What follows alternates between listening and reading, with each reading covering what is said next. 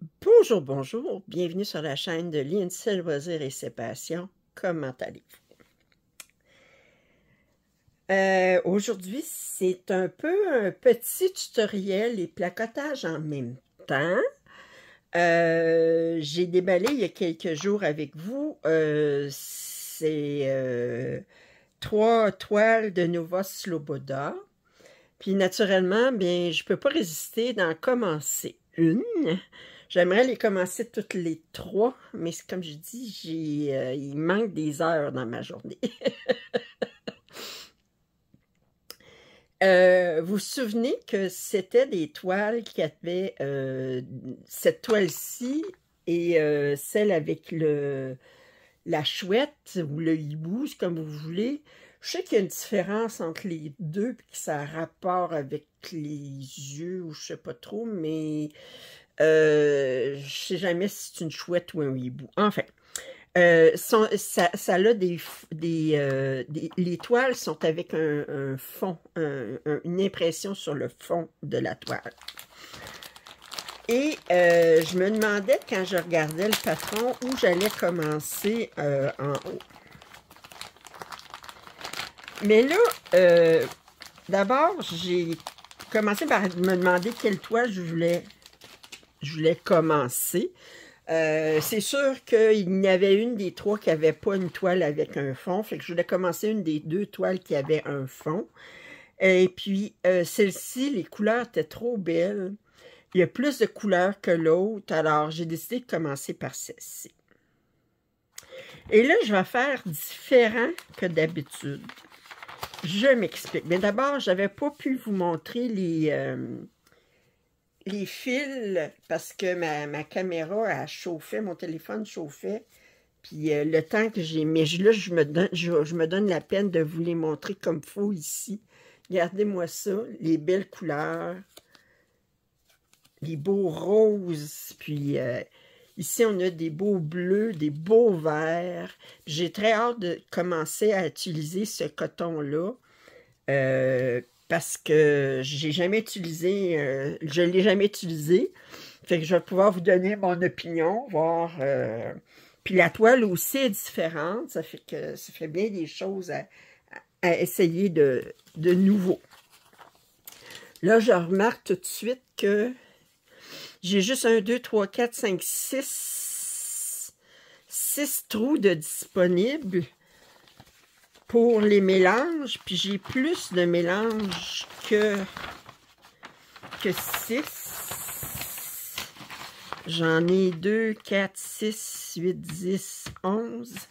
Fait je vais me prendre un organisateur, un petit organisateur. J'ai-tu un petit organisateur? Hmm.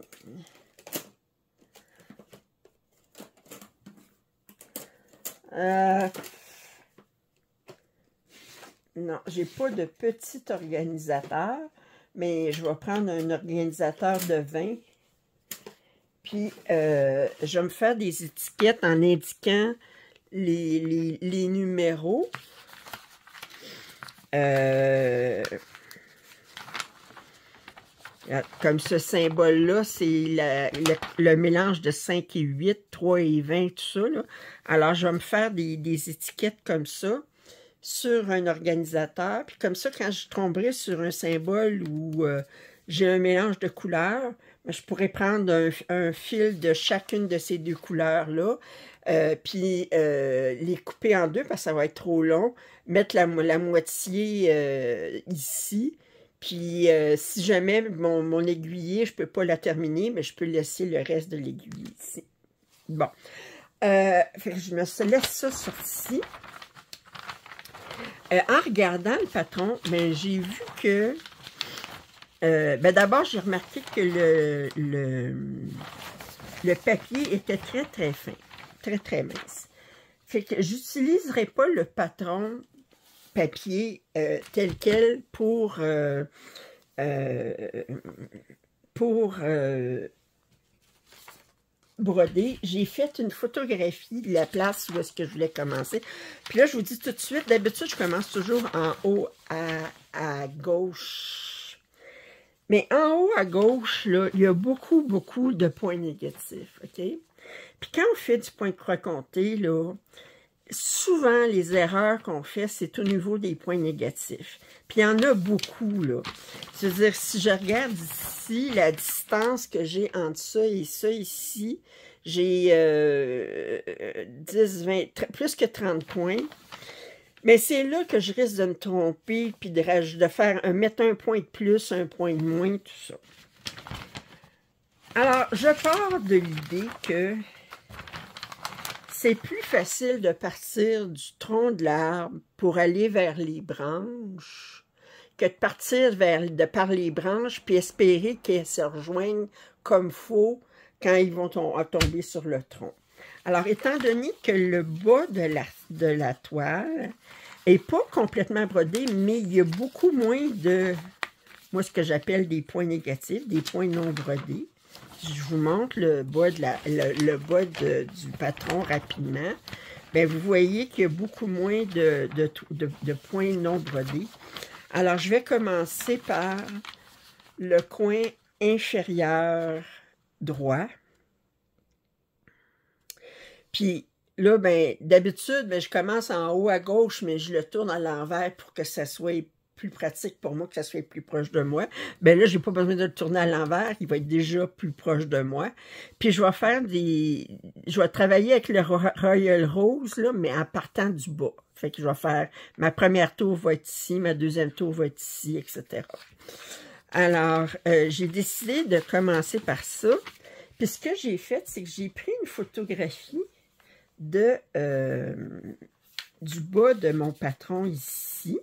Parce que comme je dis, mon papier est très mince. Je vais essayer de manipuler le patron le moins possible. Puis je vais prendre une photographie aussi de la légende. C'est pas fait encore.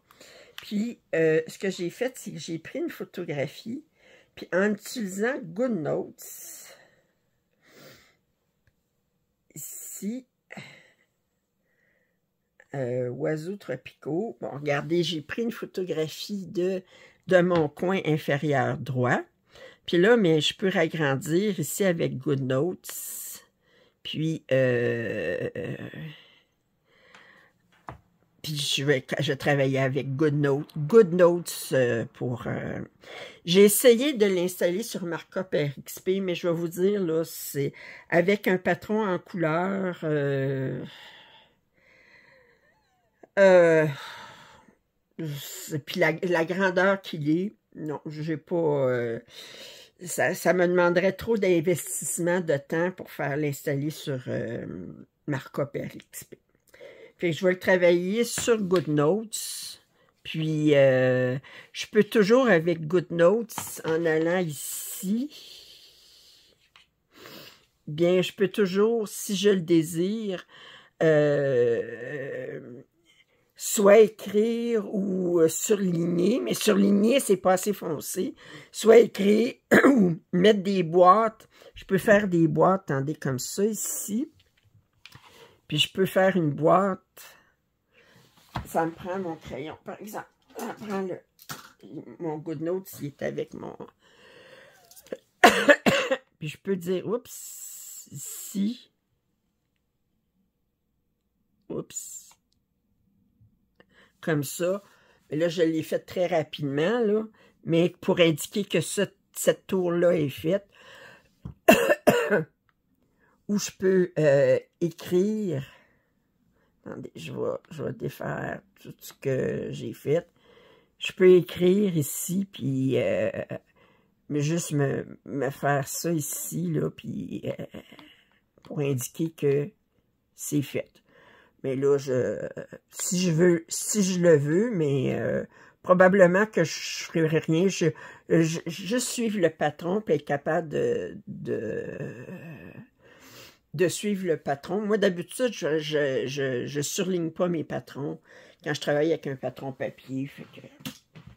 Je l'ai mis sur ma tablette.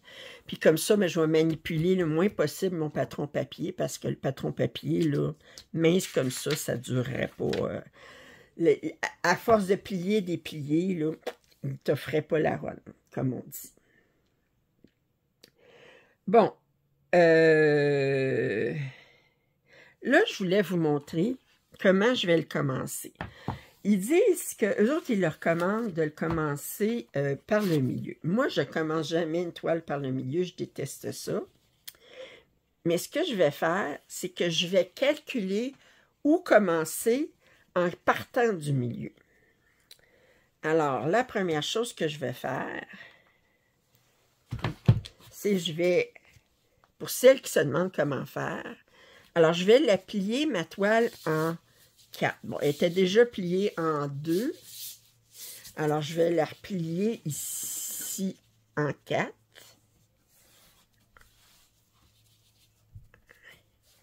OK.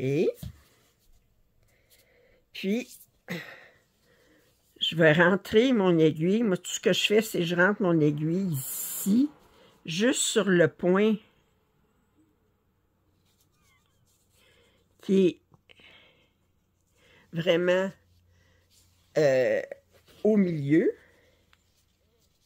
Puis là, je vais le calculer à partir de l'arrière, puis...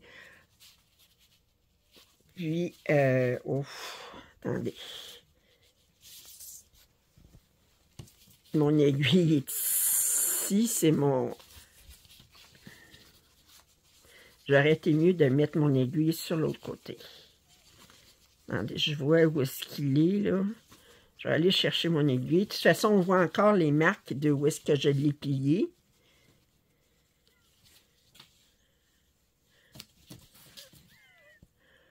Et c'était ici.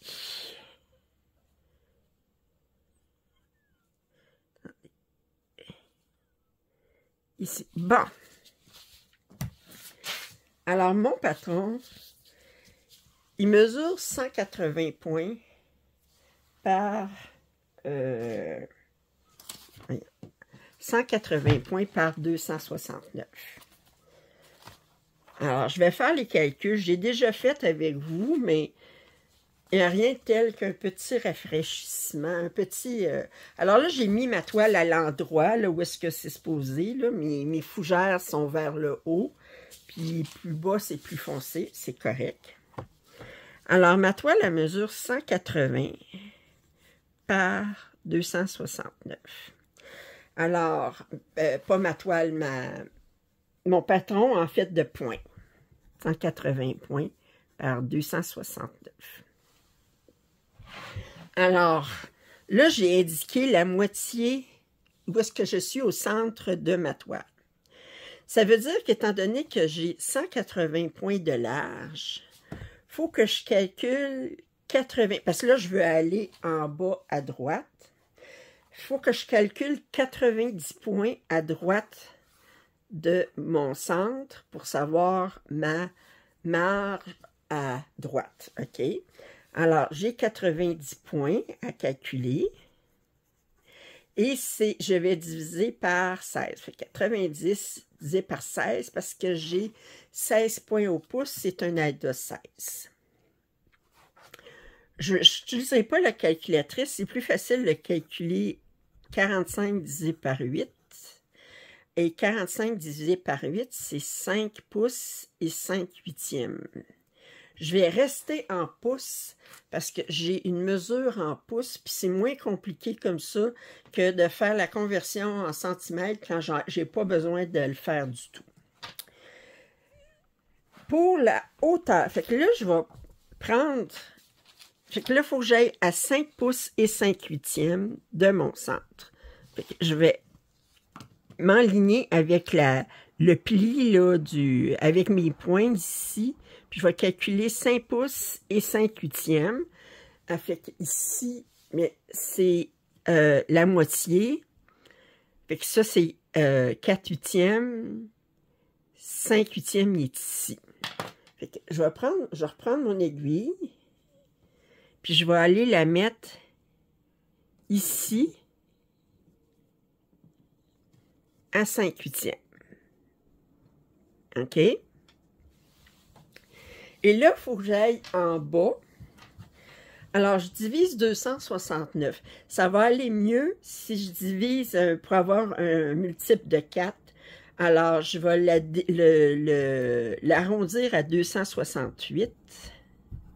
Alors, je vais dire 268 divisé par 16. Euh, non, divisé par 2 d'abord, ça fait 134, parce que je prends juste la moitié, divisé par 16.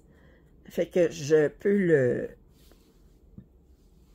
Ça fait euh, divisé par 2, divisé par... 134 euh, divisé par 2, ça fait 67. Alors, 67 divisé par 8, ça veut dire 8 fois 8, ça donne 64. Alors, 8 et 3 huitièmes. 8 pouces et 3 huitièmes. Fait que je pars d'ici. OK. Puis je m'en vais en ligne droite. 8 pouces et 3 huitièmes, ça m'amène ici. Attendez, je vais juste m'assurer que 8 pouces et 3 huitièmes, ça m'amène ici.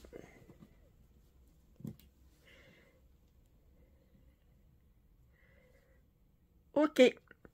Fait que là, j'ai marqué où va être mon premier point en bas à droite. Euh...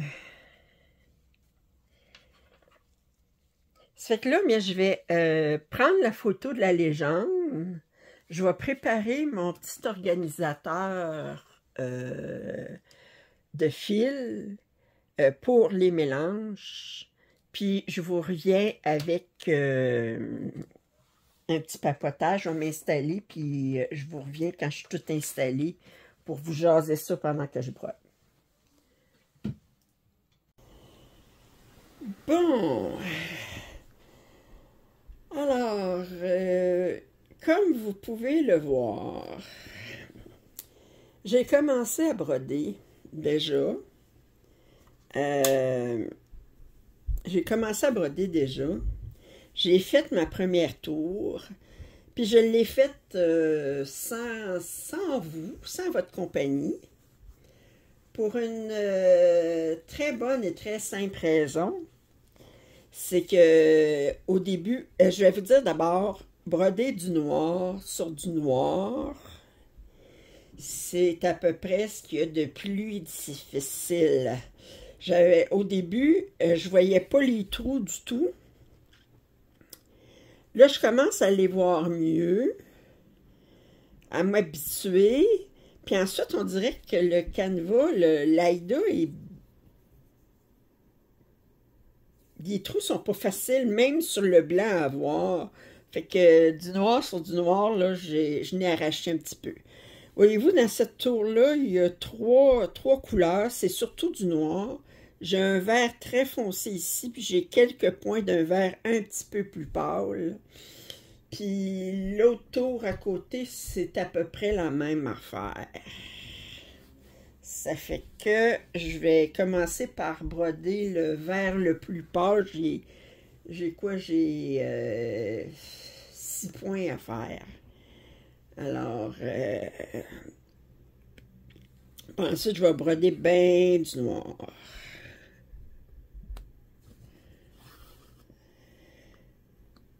Donc, j'ai huit points à faire de cette couleur-là. Puis ce qui est bizarre, ben, pour sur le patron, le symbole est rose, mais vous voyez, c'est pas une couleur rose pantoute, c'est c'est du vert. Faut pas se sa couleur du, euh, du symbole pour la savoir euh, Fait voyez-vous, je brode là, puis euh, je sais pas si vous voyez mieux, mieux sa caméra. C'est parce que euh, j'ai une lumière par-dessus, la lumière par-dessus a fait que je vois pas sur l'écran qu'est-ce que vous voyez exactement. Fait que tantôt, quand j'aurai fini de filmer, ben, je vais aller regarder comment vous voyez ça. Je vous ai grossi trois fois. Je vais broder tranquillement la deuxième tour.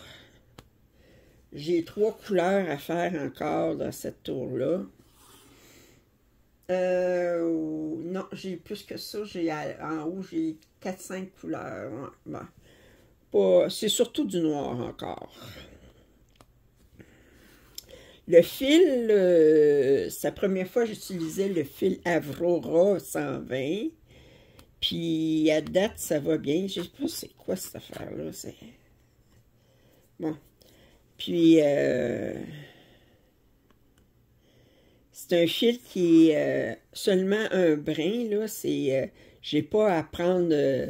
c'est pas six brins, c'est un brin. Fait que je prends un, brin, je le plie en deux, puis je fais un départ en boucle. Trois.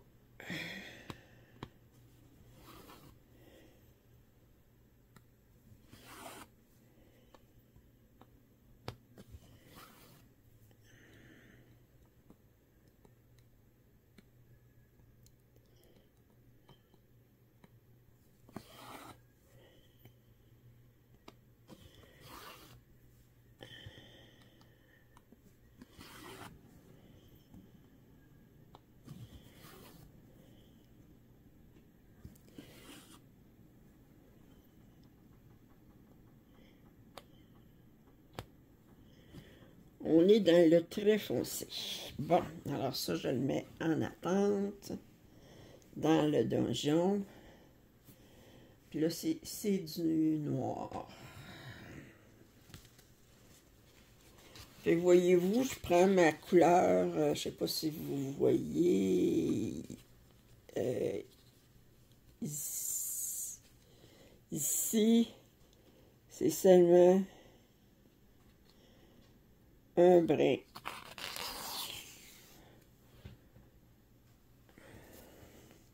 C'est un fil avec un brin seulement.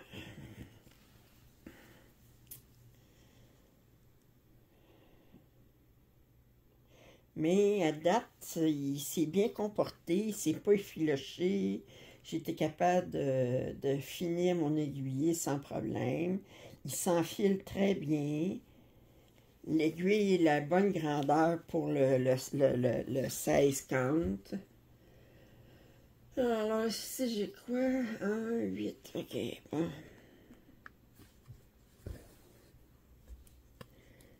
Alors, je fais un départ en boucle.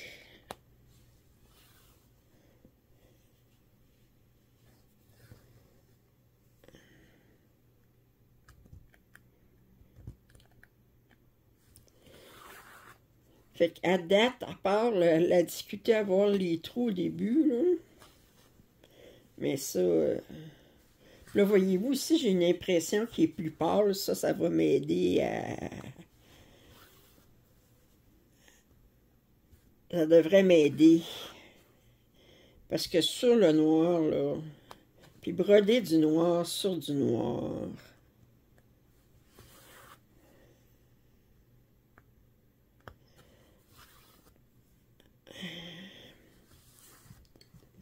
c'est un cauchemar. Ma tour, elle, a juste 19 points de haut, parce que mon patron, il mesurait 269 points de haut. Fait qu'en bas, ben, j'avais juste 19. En fait, c'est pas 200... en fait, moi, mon dernier carré est 9. J'aurais pu faire 9 puis 20 19 ou non, c'est correct, 19. Je suis pas dans le père, mais c'est pas grave. Je veux dire, si je le commençais d'en haut, à la fin, j'aurais 260, puis ensuite j'aurais 9. Mais là, je fais 19 en partant du bas, fait que ensuite ça va être de 250 à 230. C'est pas grave. 1, 2, 3, 4. J'ai-tu fait 8 points? 4, 5, 6, 7, 8. Oui.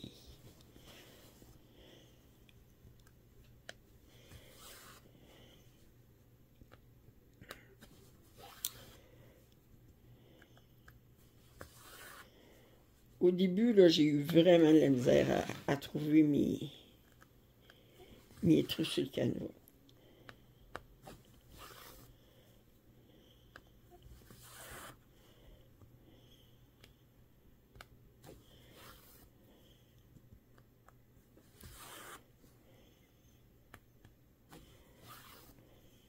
Je pense que c'est pire. C'est une toile qui est qui est avec une image par-dessus. C'est pas... J'ai déjà brodé sur de l'aïda noir, OK? Puis ça se brode mieux que ça. Parce que ça, c'est comme une image surimprimée sur un canevas qui est blanc. Puis, euh, puis, puis c'est pire. Croyez-moi sur parole. Disons, je ne le recommanderais pas à une... Euh, moi, j'en ai vu d'autres, là, mais... Euh, en haut, c'est plus pâle, le canevas est plus pâle, là, mais en bas, il, est plus foncé, puis euh, il, est, noir dans les coins, là, puis...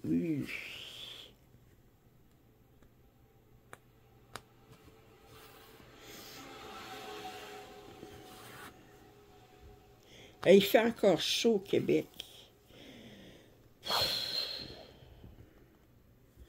Là, là, j'ai vraiment hâte que ça, ça rafraîchisse. Là, il annonce la pluie, je pense, mardi mercredi. Là. Ça fait plusieurs, euh, plusieurs semaines qu'on n'a pas eu de pluie. J'aimerais ça qu'il y ait de la pluie, que l'humidité baisse, que le taux d'humidité baisse, que la température baisse, parce que Moi, là, euh, si je suis assise puis je fais rien, ça va pas pire, là, mais le moindrement que, que je m'active un peu, là. Mais, euh, puis surtout dans le salon, le salon, c'est la pièce la plus chaude de mon appartement, étant donné la façon qu'il est situé, là, puis, oh,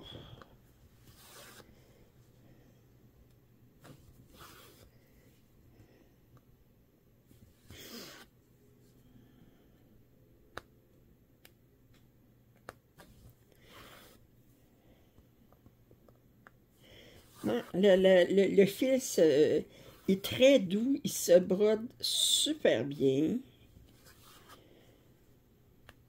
Je vais vous dire à date, la seule difficulté, c'est vraiment... Euh, vraiment de m'habituer à, broder sur ce canevas-là.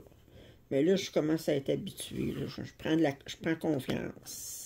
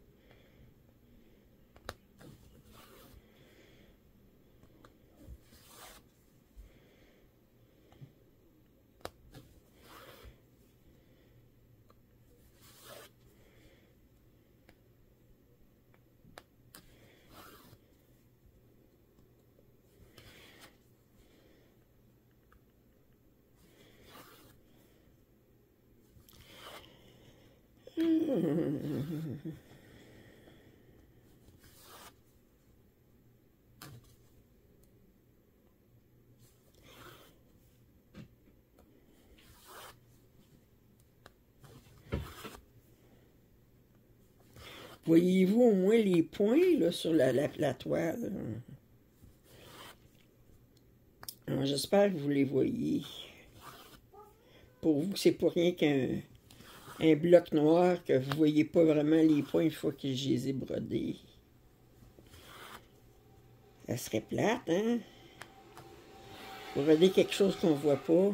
Mais je le vois, moi. Je le vois très bien. Mais je me demande si la caméra, vous voyez. J'aimerais ça, vous me répondiez.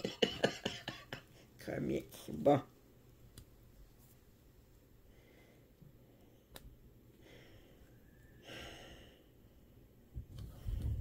Un matin, euh, quand je fais de l'asthme, on dirait des fois que je réalise pas. Je, je, je, suis là, puis, euh, puis à un moment donné, oups, oh, un peu, là, je pense que je fais de l'asthme. Puis euh, ma mère, quand je l'appelais, elle sentait tout de suite, là, elle m'entendait parler, puis elle me disait tout de suite Lynn, va prendre tes pompes, tu fais de l'asthme. là, un matin, quand j'ai réalisé je faisais de l'asthme, puis j'ai dit Ok, il faut que j'aille prendre mes pompes. Là. Puis là, ça m'a fait comme un.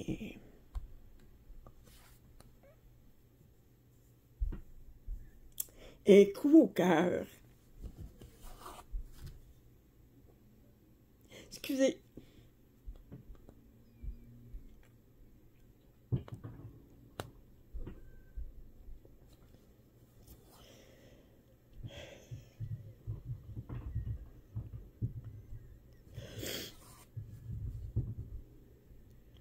je je disais, elle me disait, va à l'hôpital, t'es pas correct, là. Puis là, ben, je disais, oh, les médecins, ils l'entendront pas, mon asthme. Elle, elle dit, hey, moi, je l'entends. Fait que...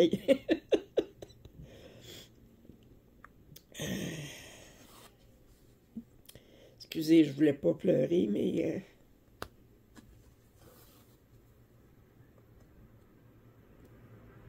Elle me.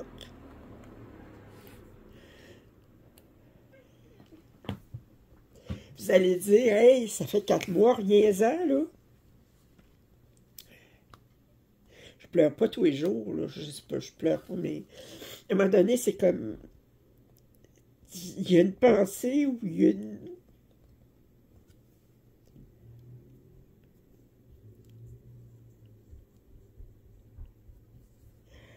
Ouh, ok. On va changer de sujet.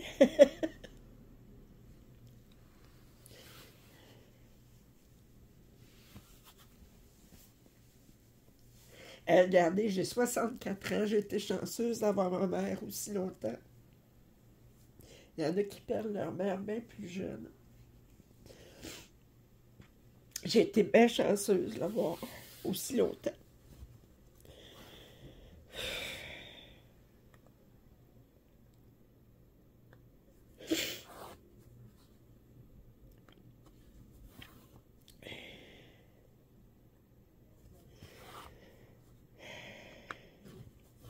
Je me préoccupais d'elle, puis elle, elle se préoccupait de moi.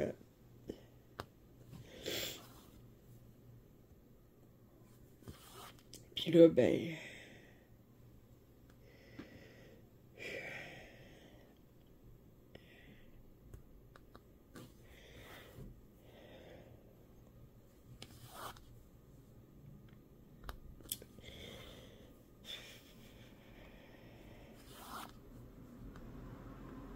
je une personne assez solitaire, hein, je veux dire. Euh. J'ai deux frères. J'en ai un avec qui je m'entends pas. L'autre, il se préoccupe, il me dit, il dit si t'as quelque chose, si t'as besoin d'aide, appelle-moi, tout ça, puis je sais qu'il pense. Mais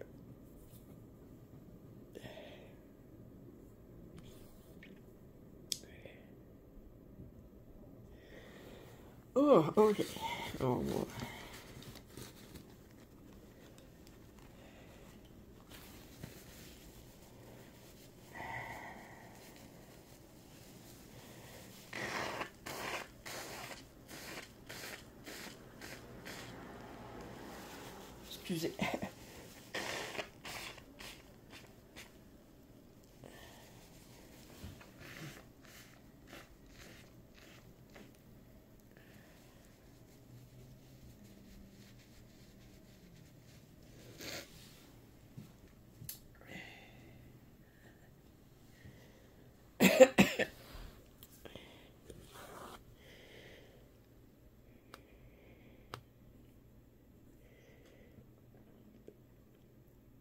Mm.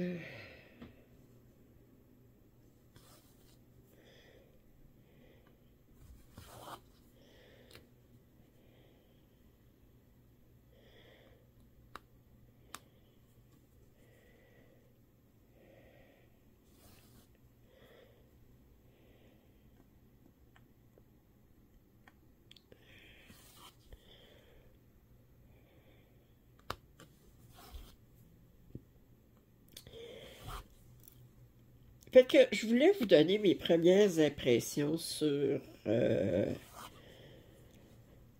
sur euh, le kit de Nova Sloboda. Alors, mes premières impressions. Bon, je vous ai dit, le papier, je trouve qu'il est trop, et, trop euh, mince. Alors, ça, de ce côté-là, par contre, le patron est très clair, les symboles sont vraiment uniques. Pas de difficulté à distinguer les symboles sur le patron. Euh, le fil à date euh, ne s'effiloche pas. Euh, il est très joli. Un beau petit brillant. le, fil s'étend bien. Je veux dire, mes croix sont régulières, le fil est, euh, se comporte bien. C'est un fil à un brin. Euh,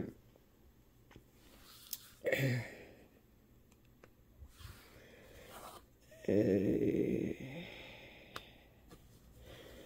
la... Fait que si je disais au niveau des points améliorés, peut-être les, les, imprimer le patron sur un, papier un petit peu plus épais. Puis, euh, le, le, le, le je sais pas s'il y a quelque chose, mais l'AIDA qu'ils ont choisi, il, je sais pas, il est vraiment bizarre qu'ils ont, le, tissu comme tel. Là. Je sais pas de quelle marque c'est, mais. Puis le fait qu'il y ait une image dessus, c'est pas facile. Je sais pas s'il y a quelque chose à faire là-dessus, mais. Euh, mais sinon, ben. Là, je me suis habituée à, broder sur ce fond-là, puis, euh, puis ça va bien. Fait que, euh, voyez-vous, là, je suis capable de voir mes trous comme faut.